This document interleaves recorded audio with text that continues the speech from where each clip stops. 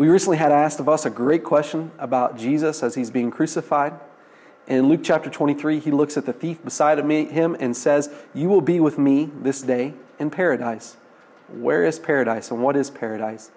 I think the Bible gives us a, a clear definition of what paradise is.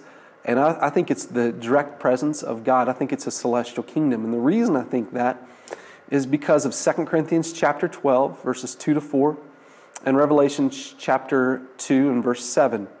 In 2 Corinthians chapter 12, verses 2 to 4, Paul's talking about going into the celestial kingdom before the presence of God. And you'll see in verses 2, he talks about the celestial kingdom. And then in verse 4, he refers to the celestial kingdom as paradise. Paul's using that word interchangeably. The word paradise is actually a Persian derived word. It was a place uh, of, of uh, bliss, it was a place that the Persians would. Uh, use to build gardens. They would build these gardens, people of wealth especially would build them on top of their homes. It was a place of solace and rest and comfort. They would go up there to re- relax and, and those who had such a place or the means to be in such a place, it was looked at as heavenly.